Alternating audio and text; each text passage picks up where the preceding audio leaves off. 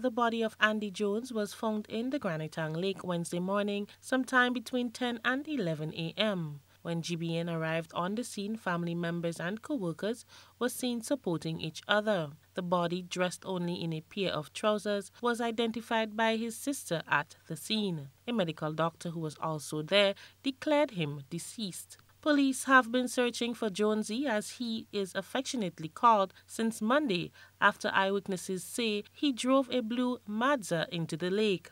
The eyewitnesses also reported that they thought Jones was in distress and swam out to assist. However, he swam away towards the middle of the lake, then disappeared. Police on site says Jones' body surfaced just before the rescue and discovery team was about to search the lake again. Jones was a salesman at the auto dealership McIntyre Brothers. For GBN News, I am Rena Pear reporting.